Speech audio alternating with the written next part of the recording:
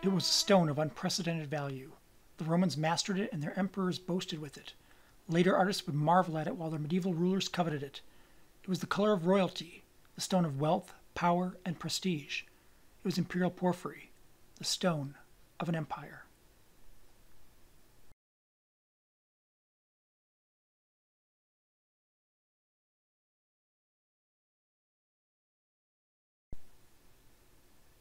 Porphyry is a type of igneous rock consisting of two types of mineral crystals a fine grained silicate matrix in which are embedded larger grained crystals of feldspar or other minerals.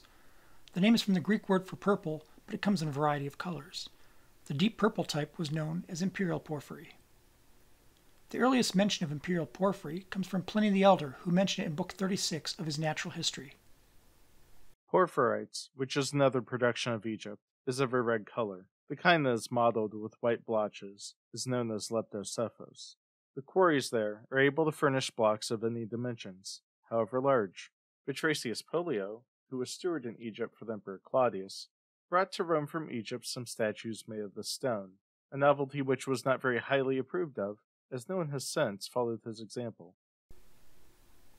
While sculpture of porphyry did not seem popular in Pliny's time, that would change. Porphyry is quite common, with one exception. Unlike other forms of the stone, the deep purple type, known as imperial porphyry, was exceptionally rare. So rare, in fact, that only one source of imperial porphyry is known to exist.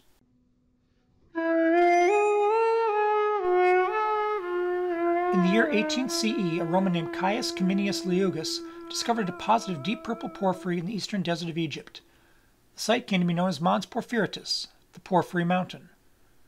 Known today by the name Jabal Abu Dukan, Mons Porphyritus was one of four Roman quarries in the region. The Romans established a central administrative complex in the valley today called Wadi Abu Ma'amel. The complex was complete with a fort, a bath, a temple to Isis Megiste and another to Serapis, a well, and a cistern. In the valley outside the central complex were five villages, three smaller forts at Badia, Belia, and Umsidri, temples to Miri and Nima and Pan, and forges. Mons Porphyritus was reached by a road called the Via Porphyritus, the Porphyry Road, leading west to Cana on the Nile River and east to the Roman fort at Abu Sha'ar on the coast of the Red Sea. Along the road, the Romans established a series of towers and hydreumata, or watering wells.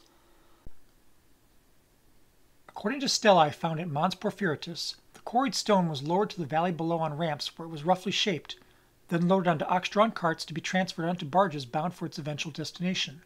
The trip west to the Nile covered 150 miles with seven hydreumata and hitching stones set up a day's travel apart. For over 400 years, the Romans would quarry imperial porphyry from Mons Porphyritus. Imperial porphyry was used in architecture, sculpture, and a variety of other decorative forms. The revetments of the Pantheon are made from panels of imperial porphyry, as are the huge discs inlaid in its great domed floor. Purple, which had long been associated with the senatorial class, took on a greater use with the imperial family, and porphyry became the stone that symbolized them. The imperial administration was the only entity which had the power and organizational ability to carry out the logistics of quarrying, transportation, and utilization of this rare stone from the distant reaches of the empire but it was with the Eastern Romans of the Byzantine Empire that porphyry reached its greatest use. Emperor Constantine erected a massive column at the center of his forum in Constantinople, comprised of at least seven massive drums of porphyry and measuring over 30 meters in height. The Emperor Justinian used eight columns of imperial porphyry, each carved from a single piece of the stone, to support the exedrae of the Hagia Sophia. Byzantine emperors were crowned while standing on the Omphalion, the navel of the earth, which was a floor panel inlaid with numerous types of porphyry, including imperial porphyry. Byzantine empresses gave birth to the royal children in a room of the great palace of Constantinople, completely tiled with imperial porphyry, leading to the term porphyrogenitos, quite literally, born in the purple. In the late 3rd century, the stone became popular with the wealthy for funerary purposes, specifically for the creation of sarcophagi. The stone's first use in a funerary context is mentioned by Suetonius, who wrote that part of the Emperor Nero's funeral altar was made from it, but it was the Emperor Diocletian who had the first sarcophagus made from imperial porphyry. Porphyry sarcophagi became common with Roman imperial families. The two best examples of this are the sarcophagi of the Emperor Constantine's mother Helena and his daughter Constantia, both of which are found today in the Vatican museums. Their exquisite workmanship and deep relief attest to the artistry and skill of Roman sculptors, but also to another important thing Roman technology. Porphyry is amongst the hardest of stones, measuring a 7 on the Mohs scale of mineral hardness, approximately equivalent to steel. Roman metalsmithing was extremely advanced, and the Romans could produce high quality steel strong enough to sculpt the equally hard porphyry. This resulted in later cultures, themselves lacking such capabilities, to look upon the exquisite work of Roman stone carving with awe. Further, the association of the purple imperial porphyry and the Roman imperial family found expression with the medieval kings and emperors of Europe. Lacking access to new stone or the ability to match the craftsmanship of the ancient Roman stone carvers, medieval architects recycled Roman porphyry in several ways.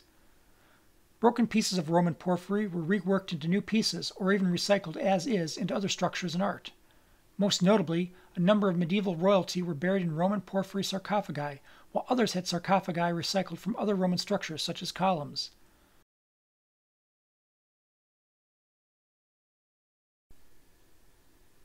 The decline of the Roman Empire also meant the decline of the extensive bureaucracy necessary to operate the vast Roman economic machine, including the quarries in Egypt. Mons Porphyritus ceased production sometime in the 5th century. All chance for further import ended after Egypt was lost to the Byzantine Empire less than a century later.